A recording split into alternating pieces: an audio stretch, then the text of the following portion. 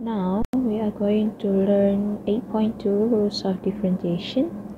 So rules of differentiation, this is for the basic rules. So the derivative of a constant function, we call it constant rule. So if k is a real number, the derivative of fx equals to k is f prime x equals to 0 so in other words the derivative of a constant function is 0 so means that if any function is a number only a number when we differentiate the function that is a number or a constant so it becomes 0 so same here. We got y equals to 3 so dy over dx equals to 0 and c we have fx equals to e power of 3 so it's a e is a constant. So if you use the calculator then you find you find that exponential or e uh, the value of e is around 2.7183 and then if we have power of 3 means that it's power of 3 here. So this is a constant which is a number. So when we differentiate a constant so it becomes 0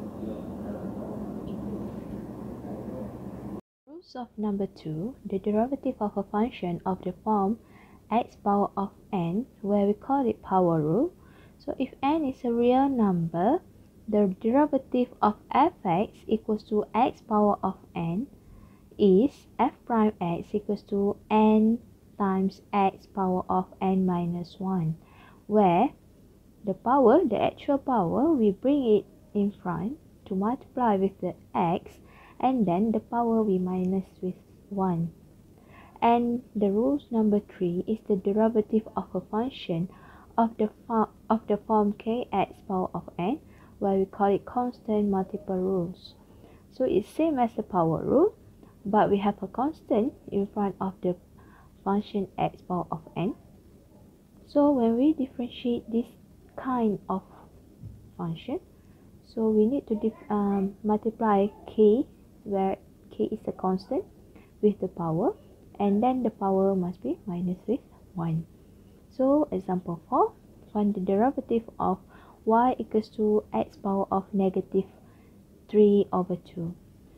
So to find the derivative of this function, because of this uh, function in terms of y, so we have to write dy over dx and then follow the power rules.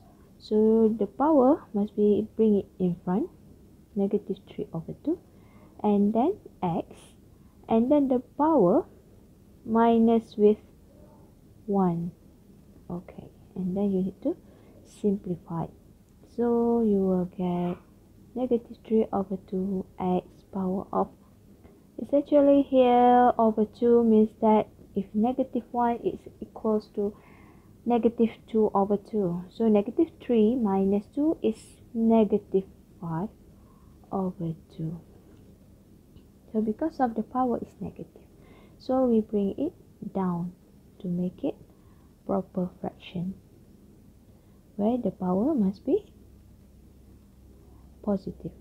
So this is the last answer. And then same as b we have fx equals to 1 over x squared and if we bring the x power of 2 up here so the power will be negative. So to find f prime x, where we need to differentiate this function, x power of negative 2, so we bring the power in front, negative 2, and then x power of negative 2 minus 1, so we will get negative 3. And because of the power is negative, same as a, so we bring it down back. So it will give you negative 2 over x power of 3 so this is becomes the last answer